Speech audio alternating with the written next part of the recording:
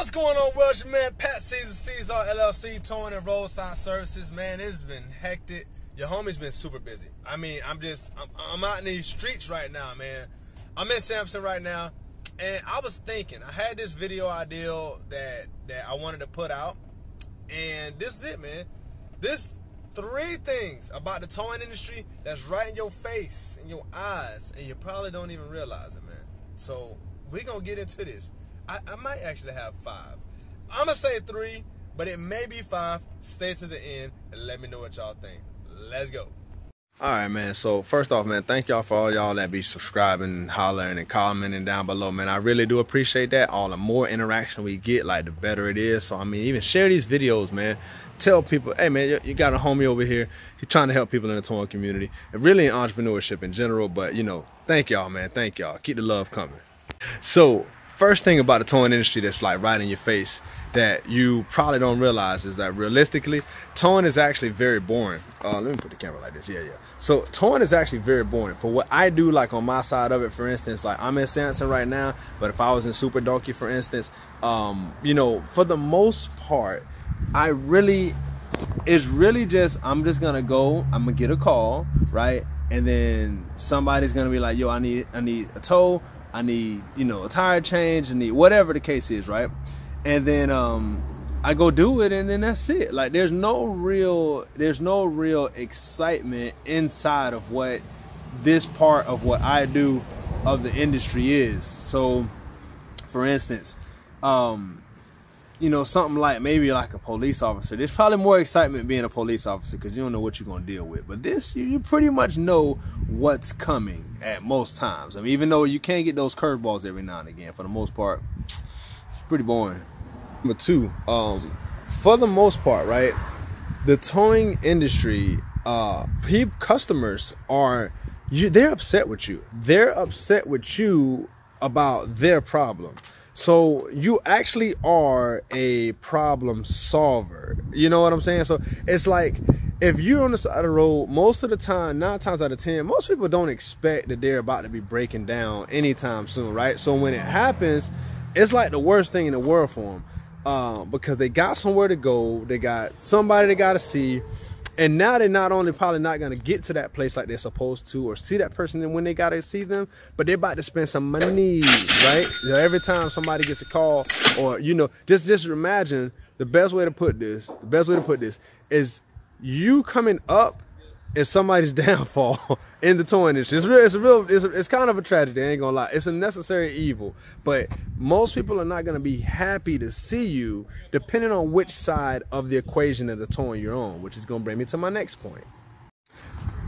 Point number three. Depending on which side of the towing industry uh, you're on is how people are gonna react to you. So, for instance, like I say, when I come through, people usually show love. You know, they happy. You know, I good customer service, price is right, uh, time is right. You know, the situation is ideal for a bad situation, right? And I try to make that transition as simple as possible for people. But let's just say you on the repo side. Most people know that their car is up for repo. I mean, let's be honest. You knew you wasn't making them payments. You feel me? So it ain't like it ain't like they're surprised, but they're still upset. They're upset that they didn't pay the bill and that, you know, the people can't collect their collateral because that's what it is. So the the hostility you're going to get is going to be drastically different from somebody that's transporting cars to helping somebody on the side of the road to repossessing cars because there's many different facets or faucets facets of this industry that you can go in, you just have to pick which one that you want. But you're gonna get reacted on differently depending on which part you're in. Man, hey, this last one, no, not last one, the next to last one, we're gonna go to five. Yo, if y'all stayed this long in the video, yo, like the video right now. Like, stop the video, like the video, share the video with somebody. Let them know, yo, you got a homie out here that's putting out this game. Yo, give that positive energy to the universe for me, man. Do this for me. Like, share, subscribe right now. All right. Um, point number four. All right. Oh, oh, oh hold on. I forgot. let's let's jump to a commercial real quick. Listen, man, I'm tired of people hitting me up talking about, yo, what can I do? How do I start? All this, that, and the third. Listen, man, we're going to shoot over to this thing. I got the Roadside Guide to Profits ebook available. Now, it's not necessarily for the beginners, but you can use it as a guideline. If you need more help than that, yo, I'm offering a consultation. Give me a call, book a call. I'm leaving a link in the description below. Visit the website. I want to help you be successful in the towing industry. I want to help you be successful in the roadside game. Cause I mean, they're two different worlds, but they work one and the same. If you even want to learn how to make money on turning wrenches, I'm telling you, yo, it's, it's, it's plenty of opportunity out there. The bigger the space, the more competition, but also the more possibility for revenue. If you need help with that, if you need to talk to somebody, if you need to reach out and, and trying to kind of guide which way you even want to go with this whole thing, tap in with the homie. Let's go ahead and get you started in the roadside and towing industry. Back to the episode. Now, this next one, man, is it, it, was a hard pill for me to swallow at one time. I got to walk over to the battle light real quick. It was a hard pill for me to swallow at one time, right? But people are gonna judge you on your equipment. Let me show you exact. This is a perfect example of what I mean. Watch this. If I pulled up in this, let's just say I pulled up in this, right? And I have a wheel lift on here. It's a Chevy, old school Chevy, heavy Chevy, right? Now let's just say, now this is, is not, eh, I think it does run and drive, but the tires are flat. It's been sitting here for so long. But let's just say I pulled up in this. I'm gonna get a completely different response than if I pulled up in this. Now, even though it's not new, it is newer, it is cleaner, blah, blah, blah, right? People are going to judge you. But even worse, people like shiny things. Let me show you something. I ain't even showed y'all the battle light. The battle light on 24s right now. But if I pull up in the battle light on them things, right? People gonna look at you differently. It is one of the hardest truths of this whole industry, man. Like depending on what part of this industry you in, the the so okay, okay, okay. I got a buddy who tows exclusively for Mercedes, right? He can't pull up in something like this. He can't pull up in something like this. At the end of the day, he has to like he has to keep up with the image. I know somebody else that's on police rotation. He boasts and brag about his new equipment. But I get it. He has to. I mean, he don't have to boast and brag, but he has to keep up with the Joneses because people are judging you. They don't want to call you out there looking any type of way. I completely understand it. Now, even if your your your your job is superior as far as your quality of work, if your customer service is there, right? They don't care.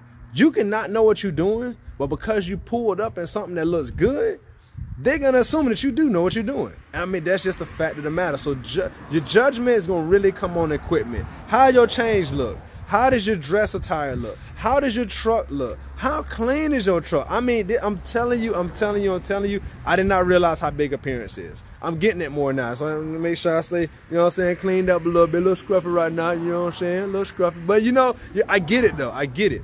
And so I act accordingly and you have to do the same thing. And you don't really have to. And let me let me let me break that down real quick. Again, it depends on what industry you are in, right? So I know some people who do hot shotting and they have older trucks. They're older trucks, just like myself, gives them significantly less problems than the guys that come up super clean in brand new trucks that are breaking down at like 15,000 miles. I mean, I'm telling you, this literally happens. Like no cap. You can just just just talk to some people. It don't happen for everybody, but most people that I see, it seems like they have a lot of problems with the with the newer equipment versus the older equipment as far as how much you have to put in to maintain. But like I say, presentation is key. So however you come out here, that's what people they, they just that's just what it is. They're gonna judge you, man. I mean, it, it, sucks, but it is what it is. So just keep that in mind. Now, if you're doing something like repo, where you kind of ducking in and out at nighttime and you cutting corners and stuff like that, like maybe it's a little bit different because people at that point, your job is to not even be seen. but if your job is to be visible, hey man, I, am I'm, I'm living proof. I I get treated differently when I come out one way versus coming out another way. Yo, number five, number five. Uh, it's right in your face. You probably don't even realize it.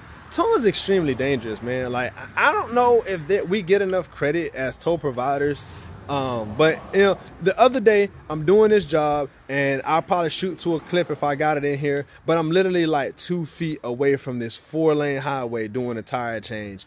And uh, while there was places for this lady to go, it was a sketchy situation because I didn't want to break the rim because the distance in which we had to go would have it would have definitely put some pressure on that rim. And it might not have broke it, it might have bent it a little bit. I'm not too sure.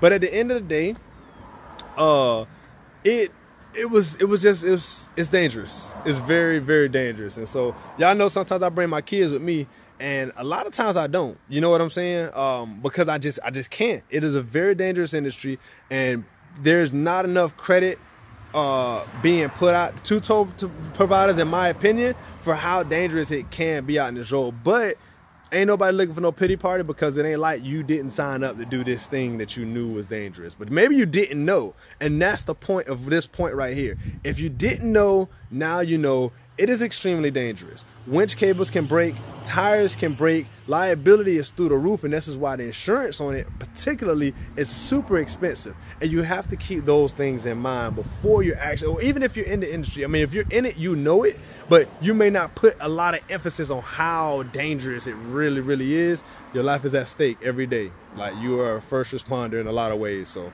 don't let that go over your head.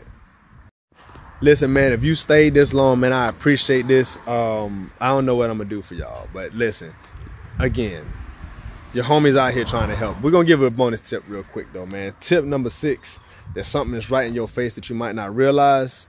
Is it glitching? I'm doing this off my phone. I left the GoPro at the house, so yeah. Either way, um, what you may not realize though is there's a lot of tow providers. There's a lot of tow providers, but there's not enough tow providers um, you know, I, am gonna go into depth in depth with this um, further, but trying to replicate myself, like I'm big on customer service, like I'm big on people. Like I love people. I try to stay away, but I try to stay close at the same time. Make sure I got my post, you know, what I'm saying to these streets. And I love people. Somebody asked me, shout out to my homie uh, uh, Ozzy at Tow Vibes. Um, he he's like, bro, make a video about why you got into towing, and I'm gonna sum it up real quick, and I'm gonna make a full video about it.